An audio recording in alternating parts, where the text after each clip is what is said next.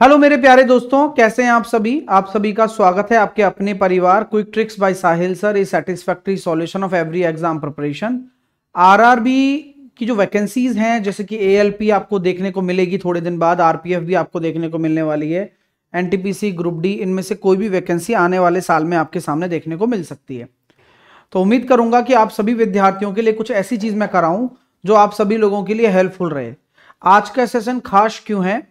खास इसलिए है क्योंकि ये मैं हंड्रेड परसेंट बोल रहा हूँ कि ये पाँच क्वेश्चन आपके किसी ना किसी शिफ्ट में पूछे जाएँगे। और वो शिफ्ट आप में से किसी भी स्टूडेंट की हो सकती है, आपकी भी हो सकती है शुभांकर, आपकी भी हो सकती है गौरव, आपकी भी हो सकती है जय जय नंदा आपकी भी हो सकती है हरे कृष्णा। तो आप सभी विद्यार्थी किसी की भी ये पाँच क्वेश्चंस किसी की भी शिफ्ट में आ सकते हैं। और ये बेहतरीन पाँच क्वेश्चन मेरे एक्सपीरियंस से मैं आपको कराने वाला हूँ। हर क्वेश्चन के लिए मैं आपको एक क्वेश्चन भी दूँगा जो होमवर्क में आपको करना होगा। हर क्वेश्चन को जो मैं कराऊँगा तो उसके बाद आपको एक क्वेश्चन दूँगा जो होमवर्क में आपको करना होगा। तो आइएगा, शुरुआत करते हैं आज के इस क्वेश्चन आज के इस सेशन को बिना किसी देरी के। आप अगर मेरे साथ रेलवे की कंप्लीट तैयारी करना चाहते हैं, चाहे वो एएलपी की हो, चाहे वो आरआरबी में अपने जूनियर इंजीनियर की हो, चाहे वो आपके ग्रुप डी की हो एनटीपीसी की हो आरपीएफ की हो, अगर आप कंप्लीट डिटेल तैयारी करना चाहते हैं नॉन टेक्निकल पार्ट की तो आप हमारे साथ जुड़ सकते हैं अपनी प्यारी एप्लीकेशन सिलेक्शन के लिए quick tricks by Sahil sir application पर। आपको कोई क्वेरी है तो आप इस नंबर पर कॉल्स कर सकते हैं और अभी बैच लेने से फ़ायदा है रिकॉर्ड ब्रेकिंग बैच है ये। R R B record breaking batch ये अब की बार जो सारे रिकॉर्ड बने थे पहले सिलेक्शन के, वो सब तोड़ देगा। जी बिल्कुल वैकेंसीज भी अच्छी खासी आने वाली हैं। तैयारी भी अच्छी खासी होगी। इस पर अभी ऑफ़र चल रहा है तो आप इस ऑफ़र का फ़ायदा उठाइए और अपनी एप्लीकेशन पर quick tricks by Sahil sir पर आज ही जुड़िए, क्योंकि समय निकलता जा रहा है। हमारी क्लासेस ऑलरेडी चालू हैं। आपको जितनी भी क्लासेस हैं जो मेरी हो चुकी हैं, वो वीओडी फॉर्म में मिलेंगी, यानी कि रिकॉर्डेड फॉर्म में मिलेंगी, और रेगुलर जो चल रही है नौ बजे, वो लाइव क्लास मिलेगी। बाकी सभी टीचर्स की क्लासेस आपकी लाइव भी चल रही हैं रिकॉर्डेड भी है तो आपको कोई टेंशन लेने की ज़रूरत नहीं है। आप लोग अगर इंडिविजुअल बैच लेना चाहते हैं, उसमें भी ऑफ़र चला रखा है। तो वो भी आपका फ़ायदा उठा सकते हो आप इसका रेलवे मैथ वाले बैच का। अपनी एप्लीकेशन पर जाओ, बढ़िया पढ़ो। यूट्यूब पर आपके लिए तीन बजे क्लास चला रखी है फ्री मैथ की। आरआरबी एएलपी के लिए सुबह नौ बजे हरी सर की क्लास भी आती है। तो हरी सर का जलवा साइंस लगेगा हलवा, सुबह नौ बजे हरी सर की क्लास भी आपकी आती है। यूपी पुलिस के लिए आज मैराथन है, सात बजे से ग्यारह बजे तक लगातार। तो आइएगा, पढ़िएगा जो यूपी पुलिस की तैयारी करते हैं। टेस्ट सीरीज़ लेना चाहते हो तो क्विक ट्रिक्स टेस्ट सीरीज़ अपने पास एप्लीकेशन है, जहाँ पर आप टेस्ट सीरीज़ ले सकते हो। आपको कोड लगाना है F I R S T one double zero चलिए अब स्टार्ट करते हैं आज का सेशन पहला क्वेश्चन आपके स्क्रीन पर है, ये बीच में डिवाइड का चिन्ह है। देखते हैं आप में से कौन बच्चा कर पाता है इन सभी प्रश्नों को। चलिए, करिए भैया।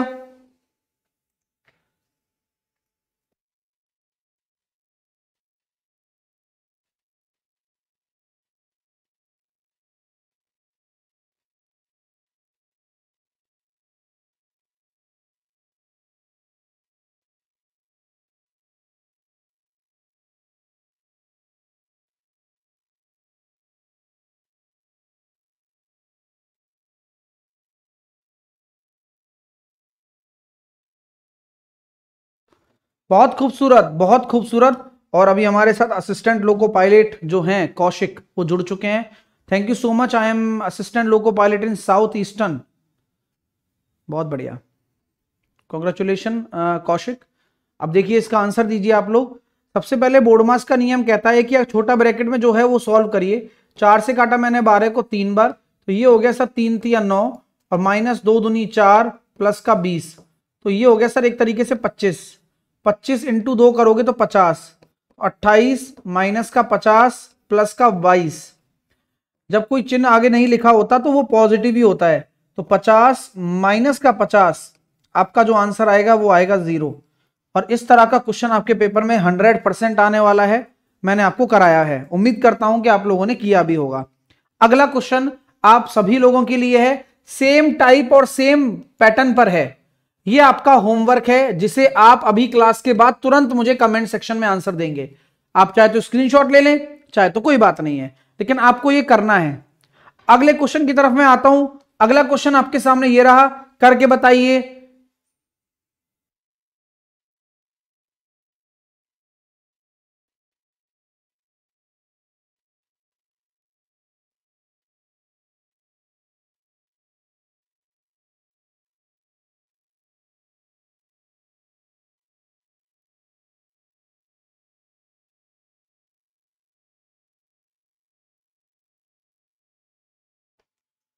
अब कभी भी ऐसे मैंने पहली बार भी बोला था आपको कि कभी भी आप x माइनस आठ से डिविजिबल बना रहे हो, कि ये है डिविजिबल या कह रहे हो कि है तो है तो इसका ये x माइनस आठ बराबर ज़ीरो रखने पर, x बराबर आठ रखने पर, यानी कि ये पूरी इक्वेशन भी ज़ीरो हो जानी चाहिए, क्योंकि अगर ये इसका रूट है तो इसके अंदर सेटिस्फाई भी होगा। तो आटू आटू चौसठ एक्स का स्क्वायर प्लस आठ ए प्लस का चार बराबर ज़ीरो यहाँ से हम कैलकुलेट करेंगे आठ ए, माइनस का चार और माइनस का, ये हो गया सर चार तिया बारह छ तिया अठारह और एक उन्नीस, वन नाइन्टी सिक्स तो एट ए बराबर वन नाइन्टी सिक्स, ए बराबर आठ दुनी सोलह, बचे कितने तीन, आठ चौके बत्तीस, ठीक है, और बचे कितने आपके सामने, चार और पॉइंट आठ, चौबीस पॉइंट आठ आंसर आ रहा है, नहीं, सही है क्या? चौबीस पॉइंट पाँच आएगा ना? हम्म, एक बटे दो। माइनस का चौबीस पॉइंट पाँच आपका राइट आंसर आ जाएगा। किसी को कोई प्रॉब्लम तो नहीं है? इजीली कर पा रहे हो? कर पा रहे हो इस तरह का प्रश्न आराम से? कोई दिक्कत तो नहीं आ रही ना? कि किस तरह से आपको ये प्रश्न करना है कि डायरेक्टली डिवाइड नहीं करना आपको इक्वल टू ज़ीरो रख के एक्स की एक ऐसी वैल्यू निकालनी है जो इसके अंदर सेटिस्फाई हो जाए। और अगर ये विभाजित है तो ये ज़ीरो के बराबर होगा हमेशा। लॉजिक क्लियर है? हाँ या ना, में प्लीज़ जवाब दे दें? अगला क्वेश्चन आपको होमवर्क में करना है, जैसा कि मैंने आपको कहा था।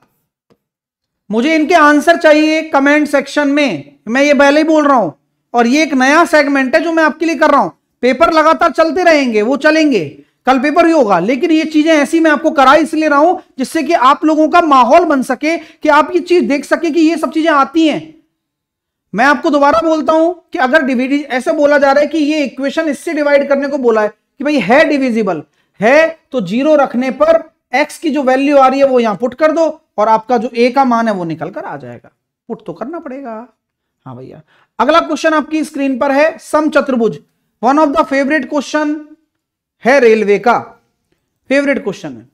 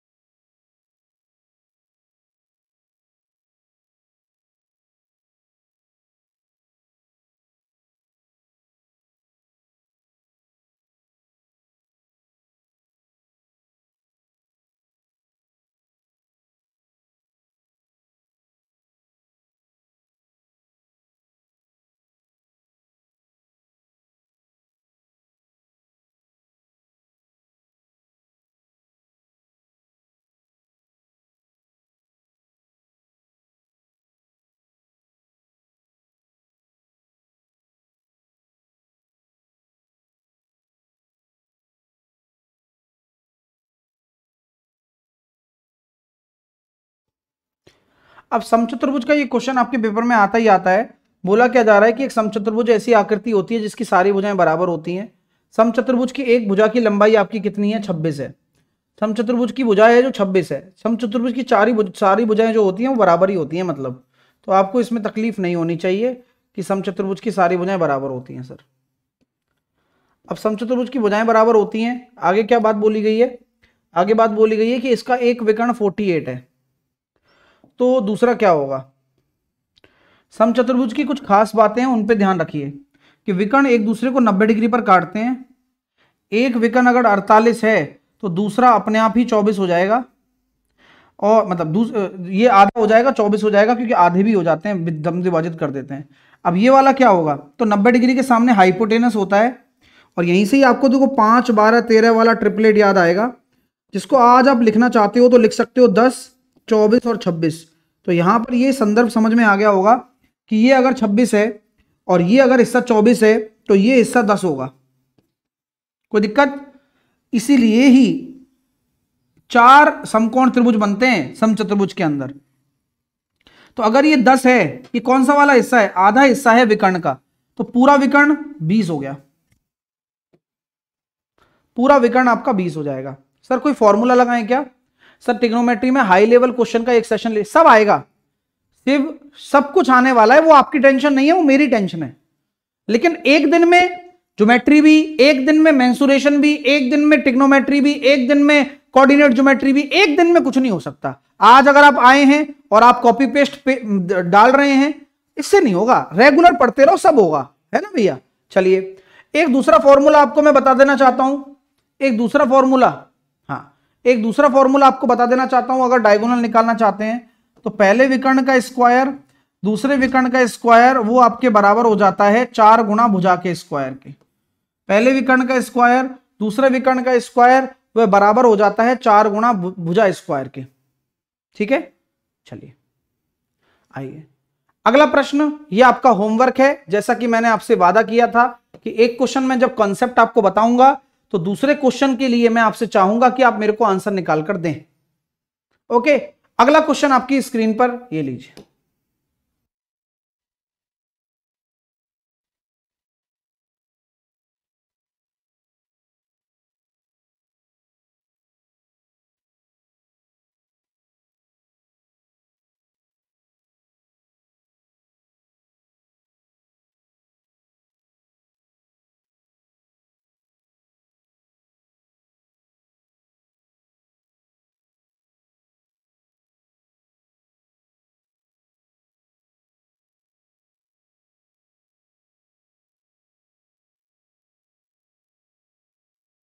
अब ये देखिए कितना गजब का क्वेश्चन है। अब मैं पूरा आपको आज इस लेक्चर से ये पंद्रह डिग्री वाला कंसेप्ट ही खत्म कर दूँगा दिमाग से आपके। देखो, मैंने हर बच्चे को, जो मेरे स्टूडेंट्स हैं और जो मेरे स्टूडेंट हैं, जो मेरी वीडियो देखते हैं, वही मेरे स्टूडेंट्स हैं।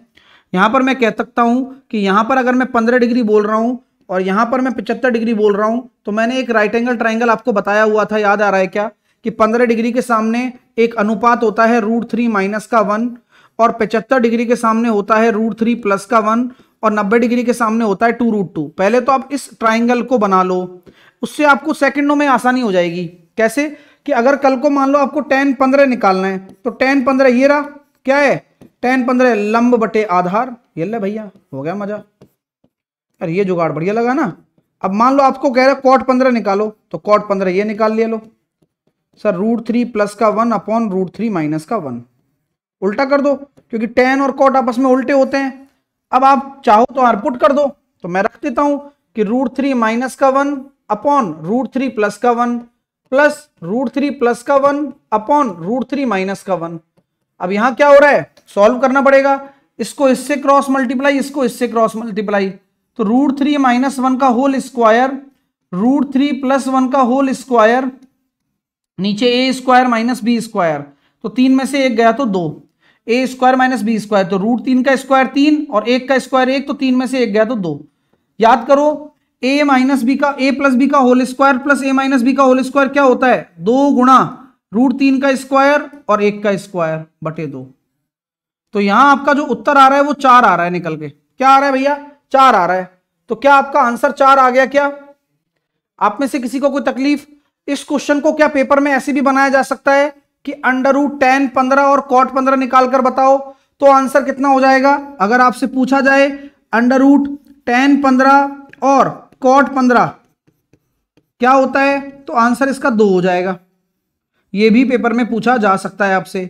टेन पंद्रह कॉट पंद्रह आराम से कर सकते हैं। ठीक है मेरे प्यारे भाइयों? क्लियर है भैया आप सबको? यहाँ तक किसी को कोई परेशानी तो नहीं है? आइए। सर मेरे को अगर मान लो ये नहीं आता हो ट्राइंगल तब मैं कैसे करूँगा? तो मैंने कहा उसका अलग जुगाड़ है।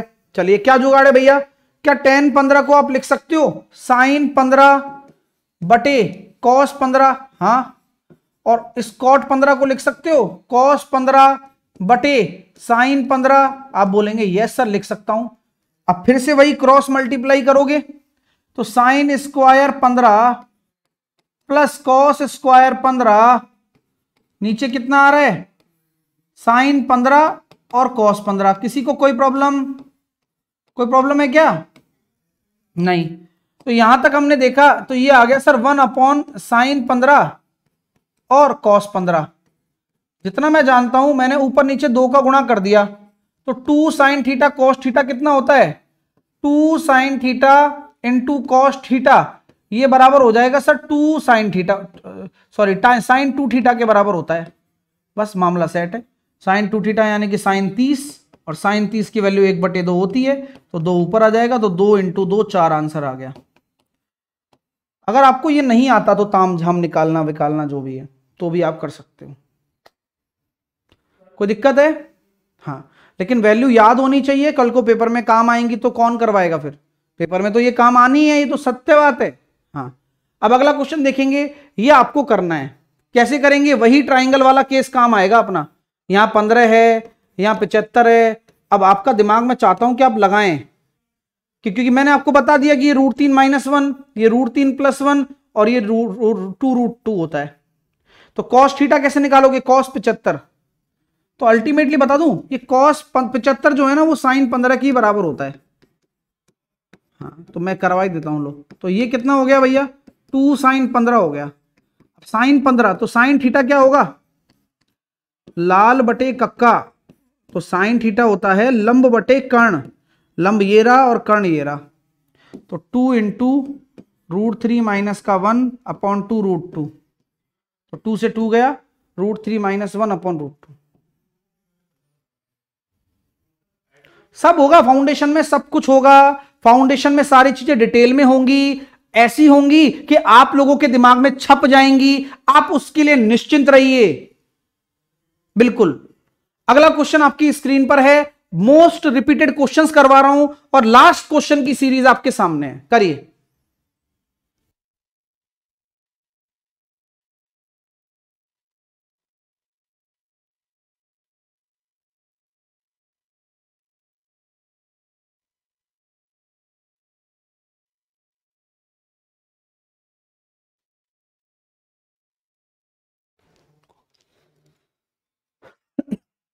रंजन ऑफलाइन करके आप अपना पैसा और समय दोनों वेस्ट करोगे। हाँ। क्योंकि वहाँ के बच्चे लौट लौट के सारे आ रहे हैं। सब बच्चे आ रहे हैं कि बोले, कहीं ऑफलाइन करने की ज़रूरत क्या है? पाँच दस घंटे बिगड़ते हैं मतलब नहीं निकलता। ना इधर के रहते हैं, ना इधर के रहते हैं। आराम से पढ़ रहे हैं, कई बच्चे आ गए बहुत सारे। तो यहाँ एक फॉर्मूला होता है, वो क्या होता है sir? S C F into LCM बराबर क्या होता है भैया? पहली संख्या गुणा दूसरी संख्या होता है। सर मैसे पे ग्यारह है लैसे पे तीन सौ तीस है। तो पहली संख्या पचपन है और दूसरी संख्या निकाल लो।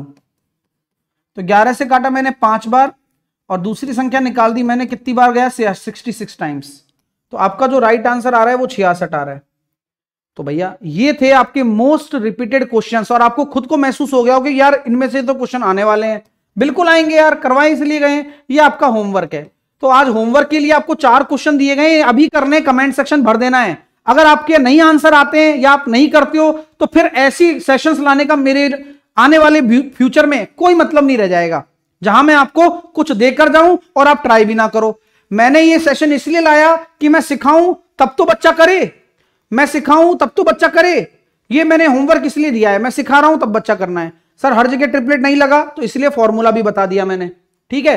और ये वाला भी करना है आपको, चौथा वाला भी, और ये भी करना है आपको, दूसरा वाला भी। इन सभी के जवाब मेरे को आपको दे देने हैं कमेंट सेक्शन में। आराम से कर लेना। पीडीएफ अभी मैं टेलीग्राम पे डाल दूँगा। पीडीएफ जस्ट मैं टेलीग्राम पे डाल रहा हूँ पाँच पाँच सात मिनट में। ठीक है? सुबह नौ बजे साइंस की फ्री क्लास चलती है यूट्यूब पर। हरीश सर की, वो आप ले सकते हो। आज मैराथन होगी यूपी पुलिस की, वो आप ले सकते हो। टेस्ट सीरीज़ लेनी है रेलवे की तो अपनी क्विक ट्रिक्स टेस्ट सीरीज़ पर जाकर अपनी एप्लीकेशन को डाउनलोड कर लेना और आप फ़र्स्ट हंड्रेड कूपन लगाकर डिस्काउंट मिल जाएगा, अभी ऑफ़र चल रहा है। ठीक है? साथ के साथ अगर आप मेरे रिकॉर्ड ब्रेकिंग बैच से जुड़ना चाहते हो, जहाँ मैथ रीजनिंग जीके जीएस सब मिलेगी तो 60 परसेंट तक की छूट आपको मिल रही है अपने वाले बैच पर। तो अठारह निन्यानवे में ये बैच मिल रहा है। इकतीस तारीख से पहले पहले ले लेना, लेकिन लाइव पढ़ो ना यार। अभी आ जाओ, अभी पढ़ लो, क्या दिक्कत है? तो आपको पेड कोर्स में जाके आपको आरबी बैच मिल जाएगा। ठीक है भैया? बहुत आसान तरीका है और ये प्राइस कम कर दी गई है, क्योंकि युद्ध की तैयारी युद्ध से पहले की जाती है। पूरा बेसिक से लेकर एडवांस तक होगा। अगर कोई क्वेरी आ रही है, कोई दिक्कत आ रही है तो भैया कॉल कर सकते हो व्हाट्सअप कर सकते हो, अपनी एप्लीकेशन पर सुबह शाम को छह बजे तक। ठीक है? हाँ और इंडिविजुअल बैचेस पर भी छूट मिल रही है, वो भी आप देख लेना जाकर अलग अलग बैच भी ले सकते हो।